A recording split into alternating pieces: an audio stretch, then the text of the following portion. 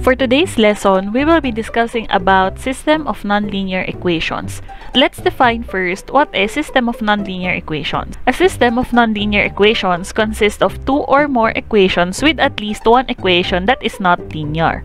During grade 8, you already encountered system of linear equations wherein we have there two or more linear equations that we consider at the same time. But since this one is system of nonlinear equations, there should be at least one equation, at least one equation that is not linear.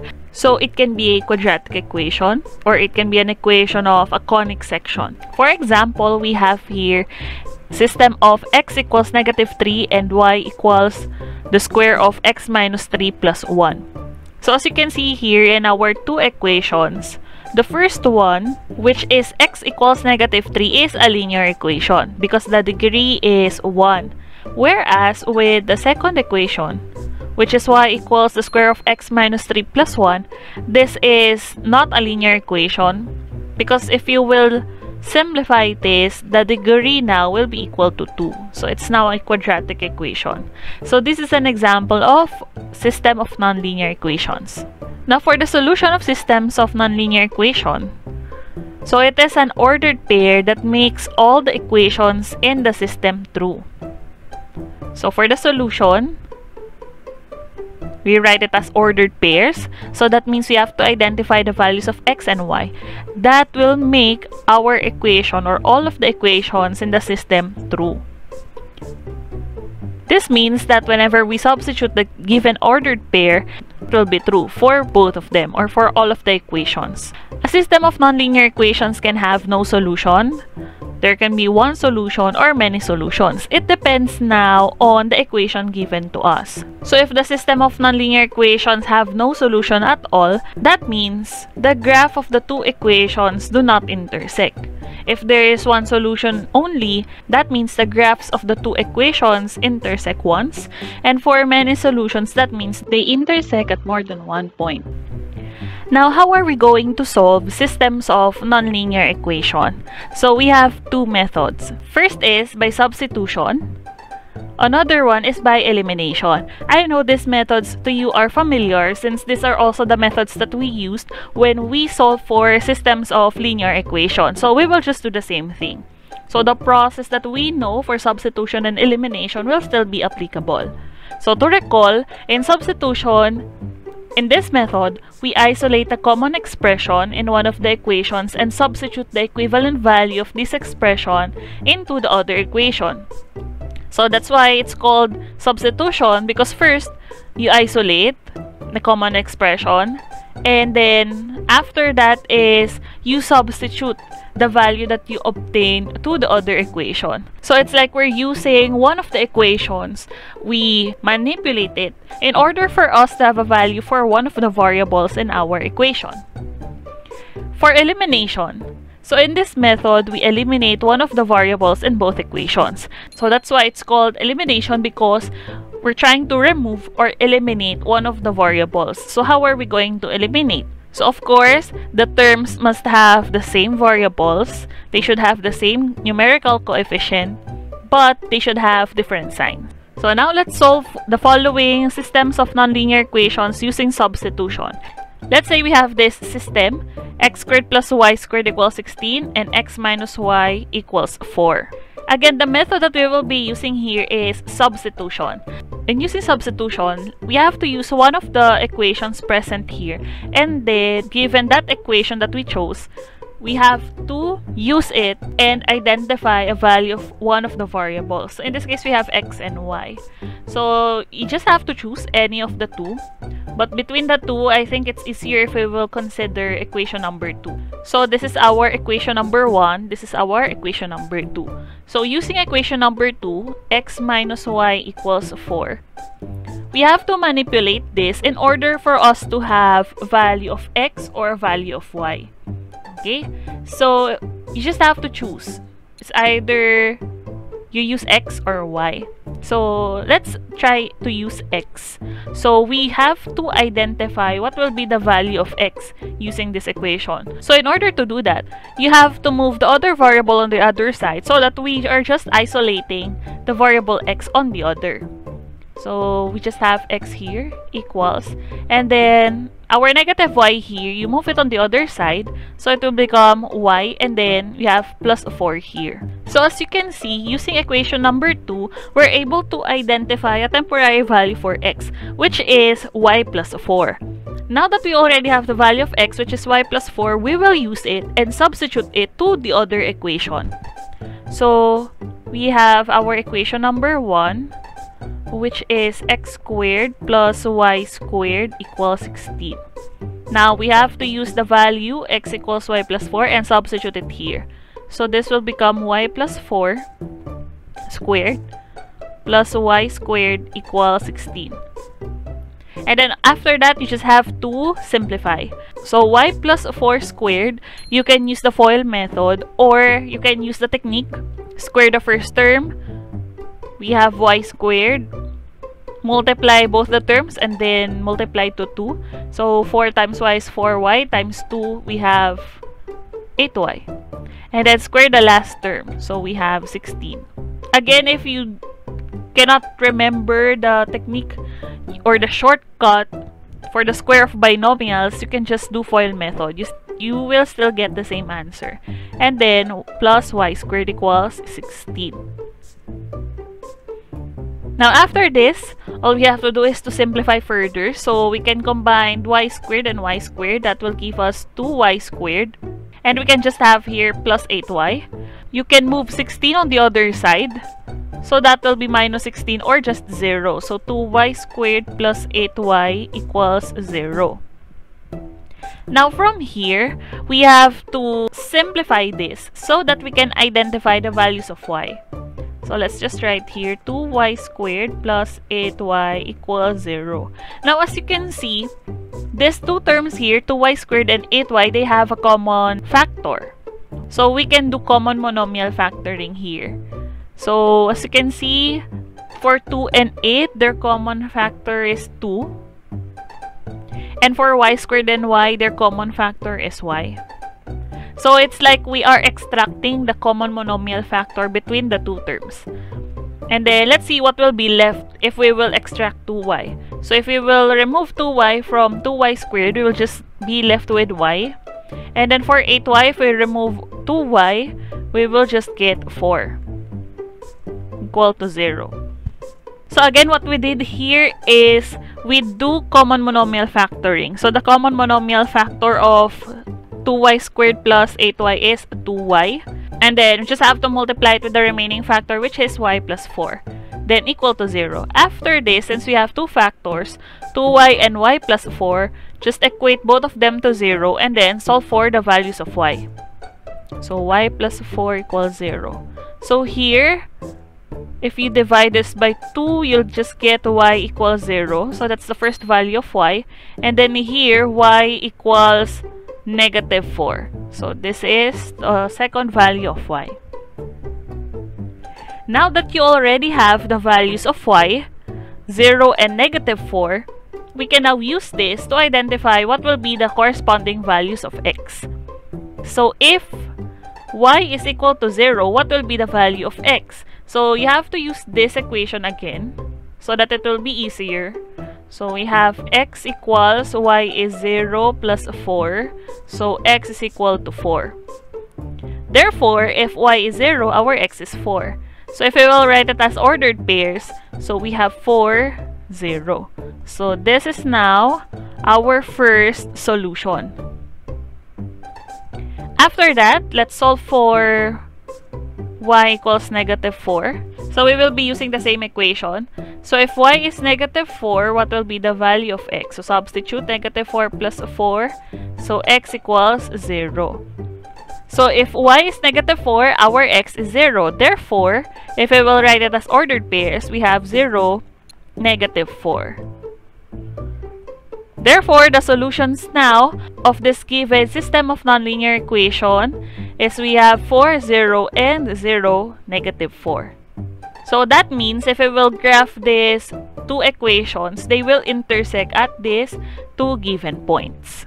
So now if we will just try to graph the two systems of nonlinear equations using the Desmos, we can see clearly where is the solution or where are the intersections. So first is we have x squared plus y squared equals 16, which is a circle. And then we have x minus y equals 4, which is a line. So as you can see, this is the circle, this is the line, and they intersect at these two points, which are 4, 0, and 0, negative 4. So there you go. So the intersection of our two equations will be the solution of the given system of nonlinear equation. For our next example, let's have x minus y plus 2 equals 0 and y minus 1 equals x squared.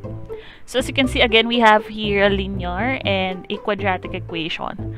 So again, we're still using the substitution method.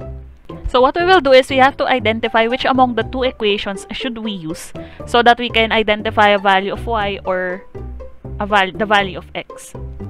So again, this is our first equation. This is our second equation. Looking at this two, I think it's easier if we will use the second equation which is y minus 1 equals x squared. Anyways, if we will use the first equation, um, your solution will be different, but the final answer will still be the same. So we have here y minus 1 equals x squared. Now looking at this, what we can do is we can just move negative 1 on the other side so that we'll just have y equals x squared plus 1. So by moving negative 1 on the other side of the equation, we already have temporary value of y which is x squared plus 1. Now we will use this value in order for us to identify the value of one variable which is x. So what we will do is, let's use the first equation and then let's substitute. So we have x minus y plus 2 equals 0. Now we know that y is equal to x squared plus 1. So let's write here x minus and then for our y we have x squared plus 1 plus 2 equals 0. Now since this is a binomial and then we're subtracting it to x, so what we will do is let's distribute the negative sign. So we have x minus x squared minus 1 plus 2 equals 0 and then simplify. So here we have x minus x squared plus 1 equals 0. Now if we will arrange this, we'll have negative x squared plus x plus 1 equals 0. And we want x squared to be positive, so let's just multiply it by negative 1. So x squared minus x minus 1 equals 0. Now as you can see, we now have here a trinomial. Okay, and as what we know, whenever we have a trinomial, we have to factor. So looking at the numbers, we have here for the last term is negative 1. Is it possible for us to think of factors of negative 1 that when we add, the answer is also negative 1? So with that in mind, uh, we cannot identify a value or factors of negative 1 that will give us negative 1 when we add it as well. That means this given trinomial is not factorable. If it's not factorable, Therefore, we have to use the quadratic formula in order for us to identify the values of x. So just to recall, the quadratic formula is x equals negative b plus minus square root of b squared minus 4ac all over 2a. So before you can use the quadratic formula, you have to find the values of a, b, and c. So A is the coefficient, numerical coefficient of the first term. B is the numerical coefficient of the second term and C is for the last one. So A is 1, B is negative 1, C is also negative 1. And then let's just substitute these values to our quadratic formula. So negative negative 1 plus minus square root of b squared. So negative 1 squared minus 4 times a which is 1 times c which is negative 1. All over 2 times a which is 1. Then let's just simplify this. So this will be positive 1 plus minus the square root of negative 1 squared is 1. Negative 4 times 1 times negative 1 is positive 4. Then all over 2. Simplify it even more. We have 1 plus minus the square root of 5 all over 2. Now we cannot do anything about this so that means these are now the values of x. So we have 2 we have 1 plus square root of 5 over 2 and we have 1 minus square root of 5 all over 2. So there are two values of x now. After identifying the two values of x, we have to identify what will be the corresponding values of y. So again, we have two values of x and then what we will do is we have to substitute each values of x to this given equation in order for us to have the value of y. So let's start with x equals 1 plus square root of 5 all over 2. So let's substitute. So we have y equals then squared 1 plus square root of 5 all over 2 squared plus 1. Now, to simplify this, you have to square the numerator and then square the denominator. So, we have 1 plus square root of 5 squared all over 2 squared plus 1. For the numerator, so since this is binomial, you can do FOIL method or you can still use the shortcut that I used a while ago. So, square the first term, so that is 1 multiply the two terms and then times 2. So 1 times square root of 5, square root of 5 times 2. So that it posit that is positive 2 square root of 5. And then square the last term. So what is the square of square root of 5? So that will be 5. And then the denominator is 4. And then plus 1 here. So just continue simplifying. So we have y equals. For the numerator, we can add 1 and 5. So that is 6 plus 2 square root of 5 all over 4 plus 1. You can still simplify this because all of the terms in this fraction, they have a common factor which is 2. So we can simplify. So what we will do is, uh, let's divide all of them by 2. So this will become 3 plus, this will be just square root of 5. 4 divided by 2, we have 2. And then plus 1. So, the 1 here, we have to add it. But since this one is a fraction, what we will do is, we have to rewrite 1 as a fraction whose denominator is also equal to 2. So, that will be 2 over 2. So that when we simplify this, this will just be equal to 1. And then, we can now add. So, 5 plus the square root of 5 all over 2. So, therefore, this is now the first value of y.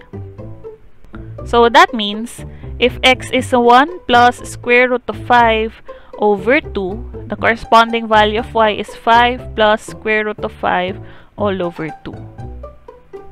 So, this is the coordinates of our solution. So let's continue with the other value of x which is 1 minus square root of 5 all over 2. So we just have to substitute again. So this will become 1 minus square root of 5 all over 2 squared plus 1. Then you square the numerator and square the denominator as well and then plus 1. Then we have here y equals. So in squaring the numerator, you can use the square of binomial or you can again do FOIL method. So square the first term, multiply the 2 and then times 2. So that's minus 2 squared to 5. And square the last term. So that is plus 5. All over the square of 2 which is 4. Then plus 1. Then let's simplify more. So 1 plus 5 is 6 minus 2 square root of 5 all over 4 plus 1. So like what we did with the first value of x, we can still simplify this. Divide all of the terms by 2. So you have 3 minus square root of 5 all over 2 plus 1. And then we can add 1 here, but we have to change it first into a fraction whose denominator is also 2 so that we can add it with the other fraction. So that will be 2 over 2 y equals 3 plus 2 is 5 then just copy minus square root of 5 all over 2 so therefore this is now the second value of y. This means that if the value of x is 1 minus square root of 5 all over 2 the value of y will be 5 minus square root of 5 all over 2 so this is now our second solution. Now, to show you the graph of the two equations together with the solutions, let's again go to Desmos. So, we have first the x minus y plus 2 equals 0. So, it's a linear or it's a line. Next is y minus 1 equals x squared, which is a parabola. So, these are the graph of the two uh, equations. And then for our solution, so first one is this. 1 plus square root of 5 over 2, 5 plus square root of 5 over 2. And then the other one is 1 minus square root of 5 over 2, 5 minus square root of 5 over 2. So these two points are the intersection of the line and the parabola. So that means they are the solutions of the system of nonlinear equation.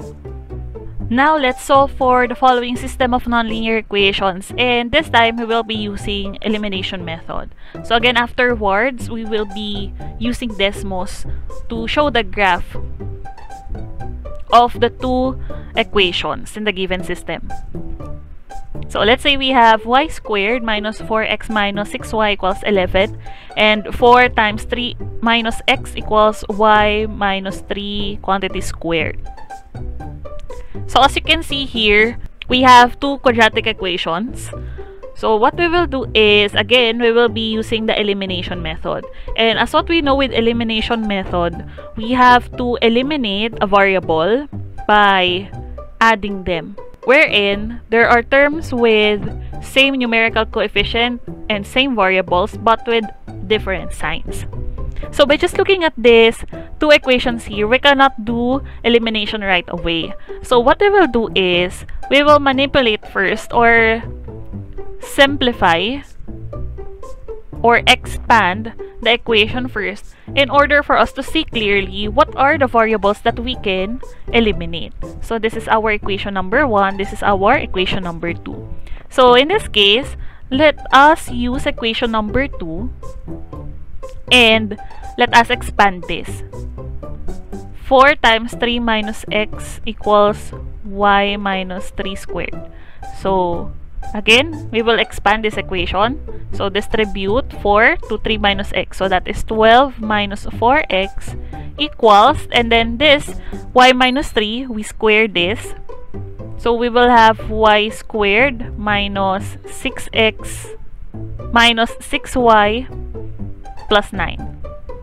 Again, you can use the FOIL method or you can do the shortcut for square of binomials. Then after that, let us combine all of the terms on one side of the equation and then let's just leave all the constant terms on the other side as well. So since y squared is already here, let's just transfer 4x on the other side and then 9, we put it on the other side. So let's just exchange the two. So we have 12 and 9 you transfer, so we have minus 9 equals, then we have y squared minus 6y plus 4x. Then simplify, 12 minus 9, we have 3 equals and then let's just arrange this so that it will be the same with the first equation. So let's write x first. So y squared plus 4x minus 6y. So we now have this 3 equals y squared plus 4x minus 6y or if we will just change or interchange the two, we have y squared plus 4x minus 6y equals 3. So as you can see, comparing it with the first equation, they are now similar when it comes to their form. So what we will do next is we will now eliminate. So let's write the first equation.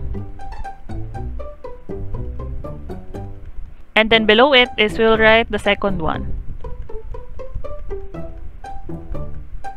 Then let's now do elimination. So in elimination, again, we have to cancel out terms that have the same numerical coefficient and variables but with different signs. So by just looking at this two sets of equations, we can cancel out 4x and negative 4x. And then for the remaining terms, simply add them. So y squared plus y squared, we have 2y squared. Negative 6y plus negative 6y, that is negative 12y, equals 1 plus 3, or this one is 11 rather. 11 plus 3, we now have 14. Now from here, we can now solve for the values of y. So let's just move all of the terms on the other side. So 2y squared minus 12y minus 14 equals 0. So this is now a trinomial. Before we factor, uh, we can still simplify this. So divide all of the terms by 2. We'll have y squared minus 6y minus 7 equals 0.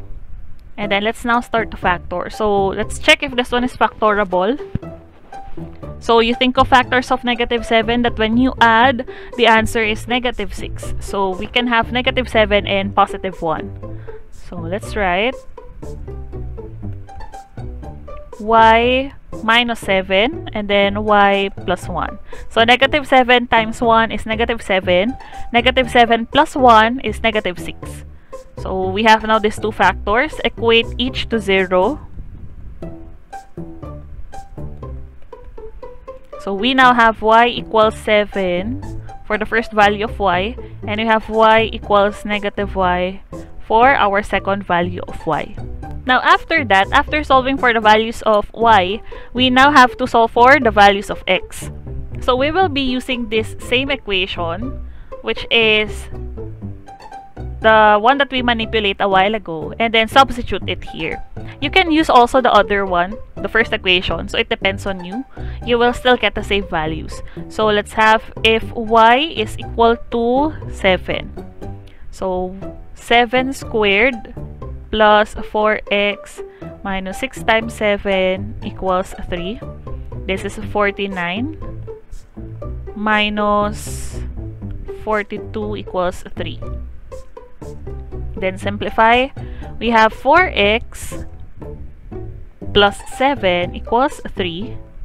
49 minus 42, we have 7. And then let's move 7 on the other side. So 4x equals 3 minus 7. Or 4x is equal to negative 4. And to solve for the value of x, just divide both sides by 4. Therefore, we have x equals negative 1. So that gives us now the first value of x. Thus, we can say that if x is negative 1, then the corresponding value of y is 7. So this is now our first solution. For the second, let's have y equals negative 1, which is the second value of y.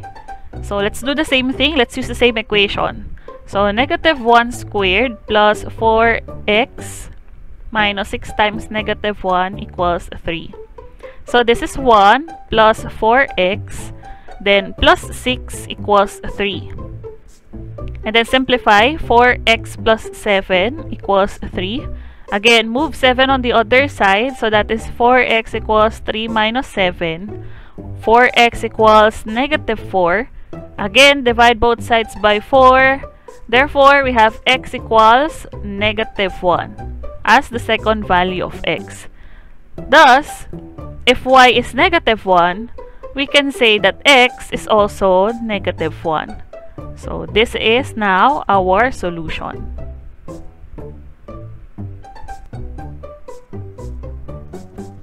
Now let's check the graph of the two equations from the system. So let's have first the y squared minus 4x minus 6y equals 11. So this is a parabola that opens to the right. Now, if we will plot the other equation, this is again a parabola but this time it opens to the left. So as you can see, there are two points of intersection of these two parabola which are the solutions that we obtain. So we have negative 1, 7 and negative 1, negative 1. So again, these are the graphs of our equations from the system. And then, these are now the solutions. Or the intersection These are now the solutions, which serves as the solutions of our system of nonlinear equation.